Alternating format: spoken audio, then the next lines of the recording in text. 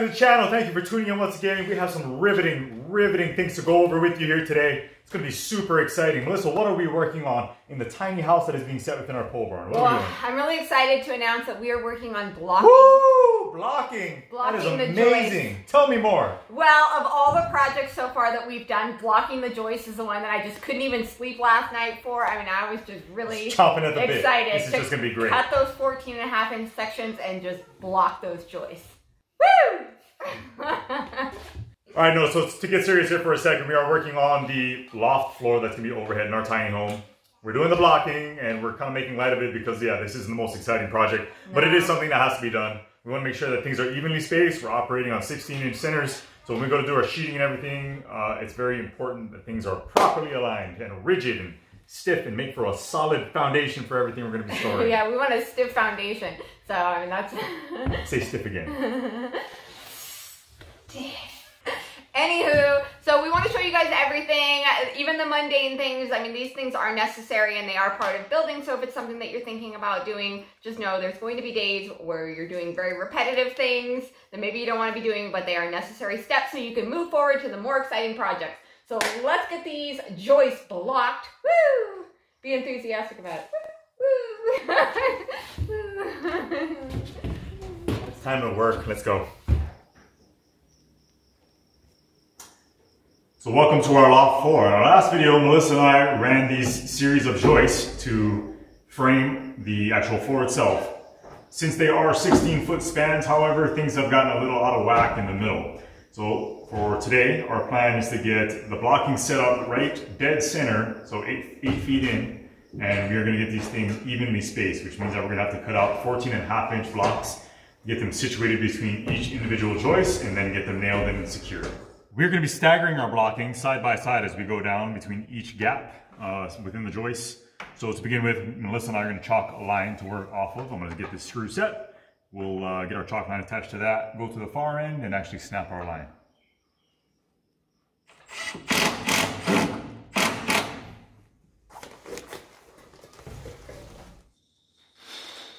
Yep.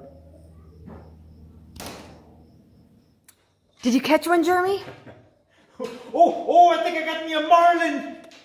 Oh. Sorry. So here we are, we are back up. We are about to install our first piece of blocking. And uh, I just wanted to illustrate a point of, and the, the reason behind actually doing this. So again, with these 16 foot spans of 2 by 12 lumber, things get a little wonky in the middle. So in able to ensure that we have good distancing between each of our joists, we actually want to pull this thing apart. I pre-measured. You can insert this blocking and get it nailed in. And now, with doing so, I know that I have the perfect amount of spacing between this joist and this outside joist here. And again, we're operating on 16 inch centers. So we're gonna do this the whole way down. We're gonna stagger each block, working off of that chalk line that Melissa and I just got set up here a minute ago.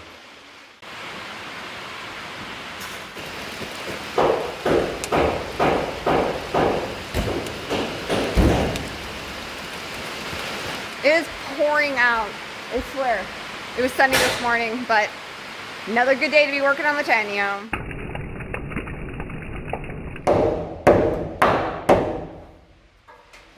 Now today is a very special day for our family and for Melissa in particular because she is getting her first official tool, a real tool for her tool belt, her Little Tikes tool belt that she stole from our five-year-old son.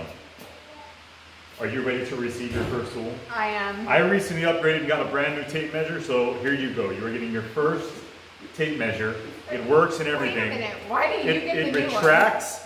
It even has a special little piece of tape here holding it together. This So broken. you go ahead and enjoy that floppy tape measure. I'm very proud of you.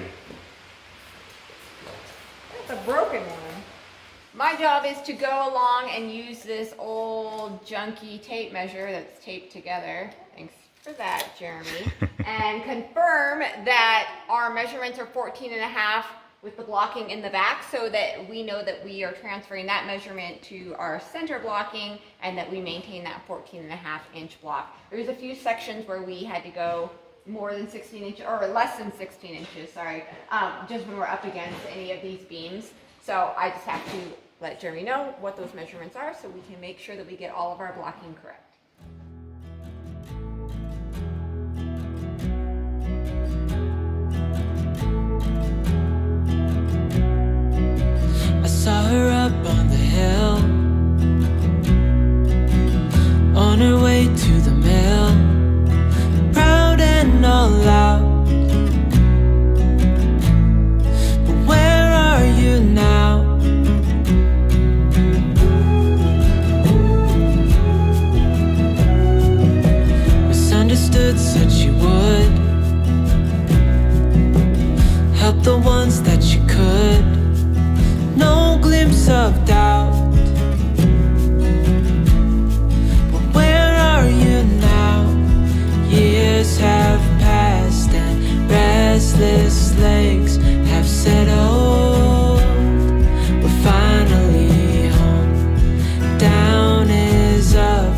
Our first little section of blocking all set up. So we're gonna run our tape just to double check our work and see how things are lining up.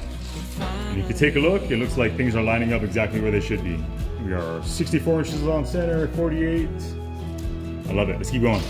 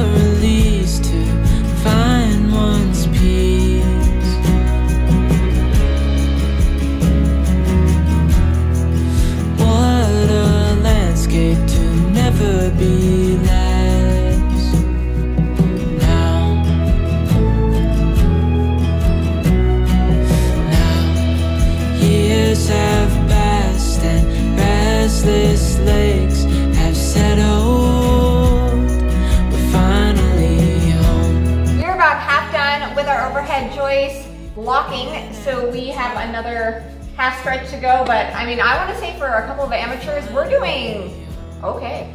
Yeah, it's looking pretty okay. Let's keep it up, shall we? Okay. Let's do it.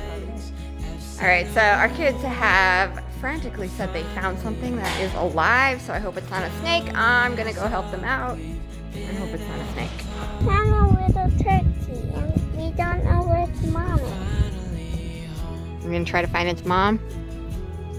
So we found this little turkey. It can't be more than a few days old, sitting on the road by itself. So we're gonna see if there's any more baby chicks down the road. Let's go check it out.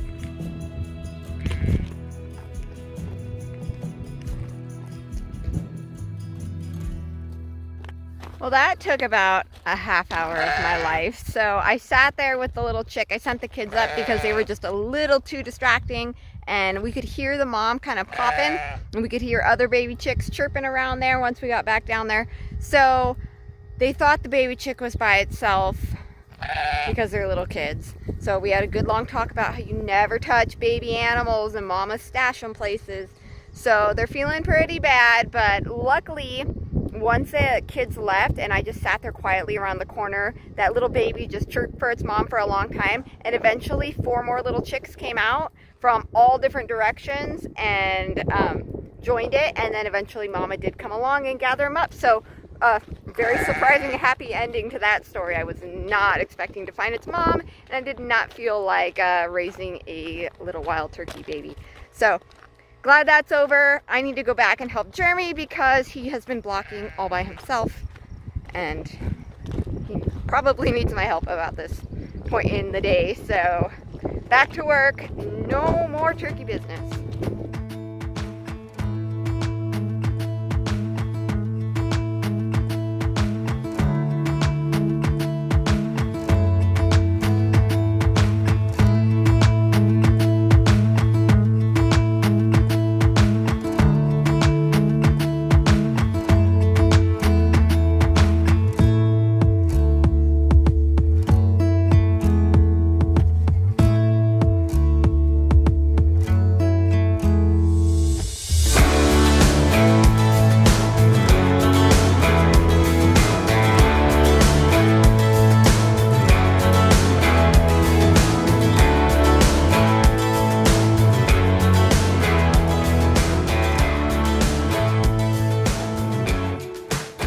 Guys, there's a look at all of the blocking that we got installed here today for the joist, which is going to be the eventual floor of our loft. So things are nice and strong, sturdy, and stiff.